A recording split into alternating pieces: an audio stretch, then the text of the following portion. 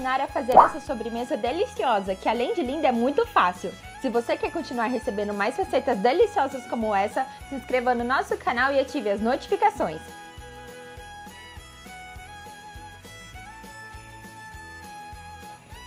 Para a primeira parte da receita, vamos utilizar uma xícara de leite em pó, um pacotinho de gelatina incolor, uma caixinha de leite condensado e uma caixinha de creme de leite.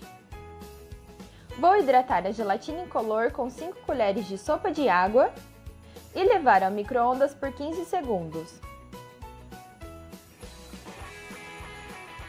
No liquidificador, vou colocar o restante dos ingredientes.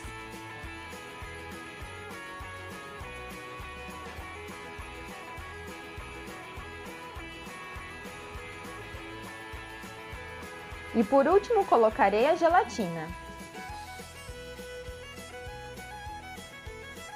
Vou bater no liquidificador por cerca de 3 minutinhos.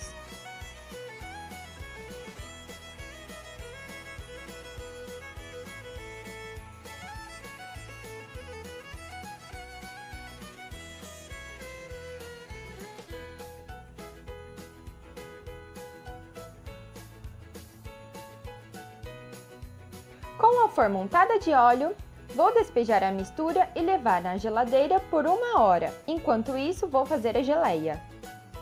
Para a geleia, vou utilizar uma xícara de açúcar, suco de meio limão e 500 gramas de morango, aproximadamente duas caixinhas.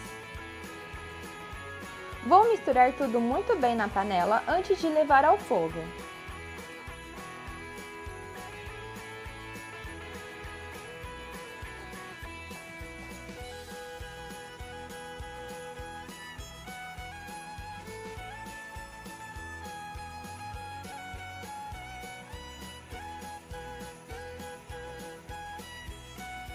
Vou levar ao fogo bem baixinho, sempre mexendo com cuidado para não queimar.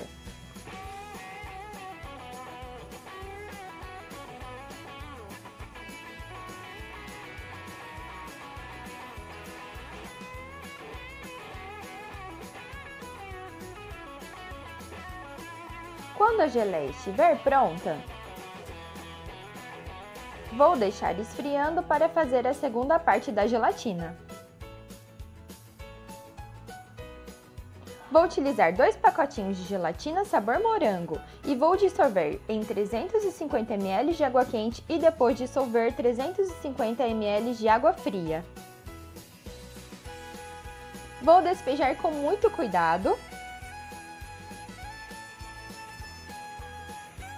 e vou levar à geladeira por pelo menos 6 horas.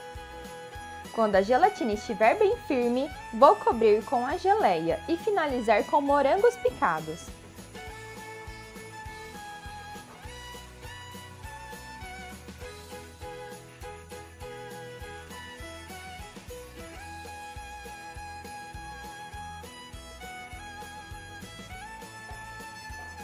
E está pronto! Essa sobremesa de Natal vai deixar todo mundo de boca aberta. Tenho certeza que toda a sua família vai amar.